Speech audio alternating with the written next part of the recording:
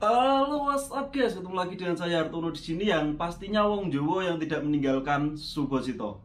Oke guys, di video kali ini ini aku mau membawakan sebuah kejadian kurang enak atau sebuah musibah ya bisa tak katakan yang dialami oleh salah satu PMI Korea yang dideportasi cuma gara-gara foto. Loh, kok bisa? Kira-kira seperti apa daripada teman-teman penasaran? Langsung simak video ini sampai habis ya. Yuk, cus!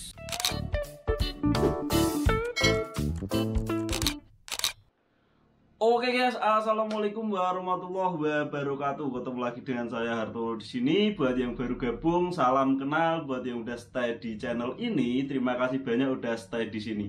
Oke guys, gak panjang lebar. Ini aku mau membahas mengenai sebuah PMI yang dideportasi ini sayang banget cuma gara-gara foto. Sebenarnya flashback aku udah pernah bikin videonya yo yang waktu itu udah tak bikinin untuk teman-teman hati-hati saat melakukan foto di Korea. Tetapi mungkin karena masnya ini tidak nonton videoku atau terlalu menyepelekan atau mungkin ya sebenarnya sih aku nggak mau menyalahkan atau gimana. Tapi peraturan ini menurutku agak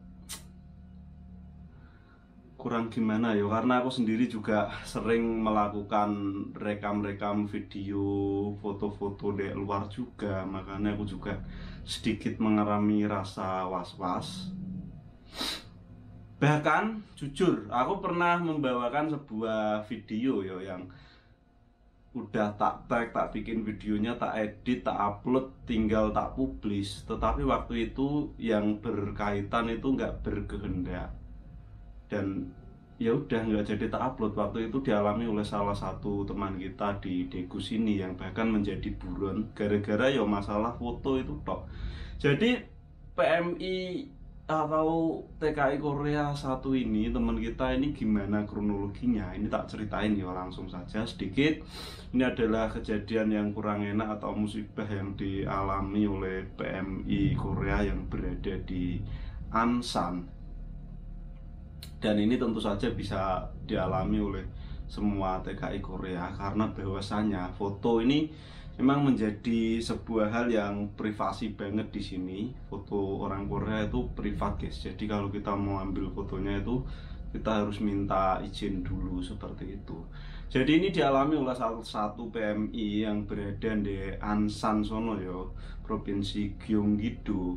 Jadi masnya ini waktu itu melakukan liburan di hari Minggu, libur gitu seperti biasa. Hari Minggu atau apa aku kurang tahu, Deng. Karena kronologinya juga kurang jelas.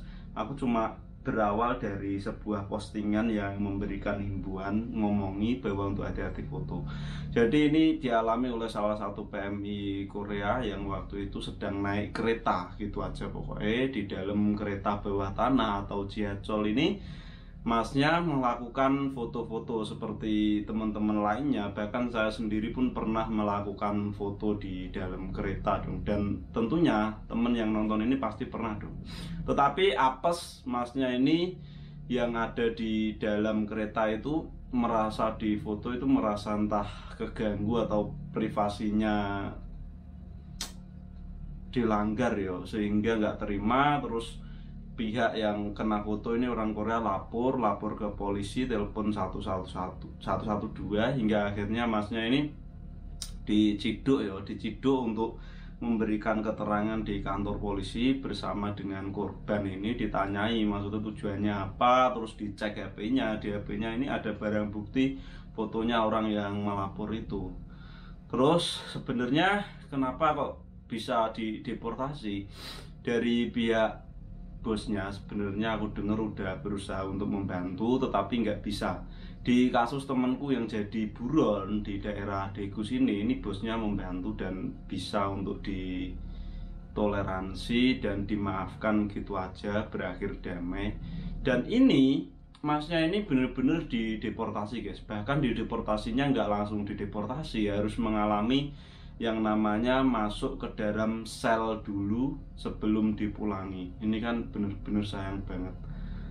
Aku juga semenjak mendengar ini, aku juga akan semakin ya ya agak ada rasa takut untuk keluar ngevlog ngevlog di luar kayak gitu guys jadi untuk teman-teman semuanya yo mungkin untuk lebih berhati-hati lebih bijak untuk menggunakan kamera bahkan saya sendiri pun terkadang sering kan foto itu di tempat-tempat umum di belakangku ada orang Korea bahkan ada yang teman-teman itu sengaja Oke mumpung ono cewek cantik gitu mumpung ada cewek yang sing ayu gendang di foto seperti itu. Itu ternyata tidak boleh loh guys. Untuk teman-teman ini lebih berhati-hati lebih waspada aja dan tentunya aku berdoa mudah-mudahan semua teman-teman ini pulang sesuai kontrak yang misal swasta juga sesuai keinginannya nggak ada satu halangan pun.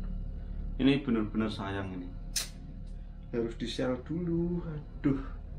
Ya wes guys mungkin cukup sekian. Terima kasih udah menonton video ini sampai selesai. Makanya di Korea ini dari HP ini ada suaranya nggak bisa hilang. Cekrek kayak gitu kan ada suaranya. Jadi orang yang difoto pun akan tahu.